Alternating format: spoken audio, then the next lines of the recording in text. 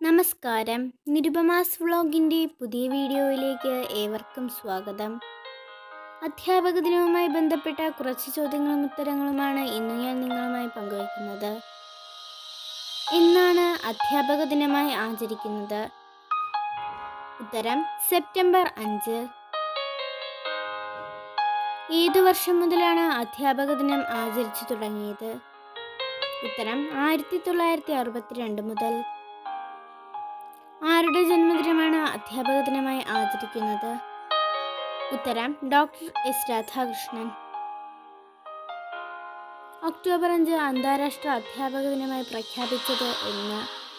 ഉത്തരം ആയിരത്തി തൊള്ളായിരത്തി തൊണ്ണൂറ്റി നാല് ഇന്ത്യയുടെ ആദ്യ ഉപരാഷ്ട്രപതി ആര്?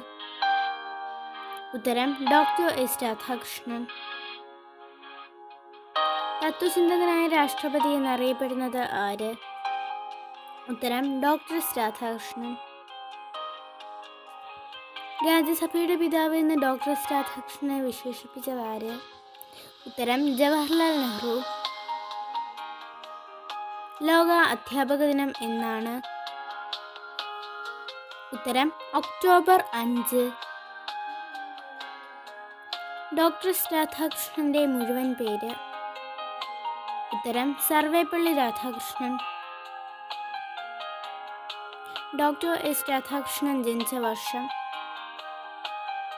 ഉത്തരം ആയിരത്തി എണ്ണൂറ്റി എൺപത്തി എട്ട് ഭരണഘടനാ പദവിയിലിരിക്കെ ആദ്യമായി ഭാരതരത്ന ബഹുമതിക്ക് അർഹനായതാര്? ഉത്തരം ഡോക്ടർ എസ് രാധാകൃഷ്ണൻ. രണ്ടാം വിവേകാനന്ദൻ എന്നറിയപ്പെടുന്നത് ആര്? ഉത്തരം doctor S Radhakrishnan. Doctor S രാധാകൃഷ്ണന്റെ ജന്മസ്ഥലം എവിടെ? ഉത്തരം തിരുത്തണി തമിഴ്നാട്.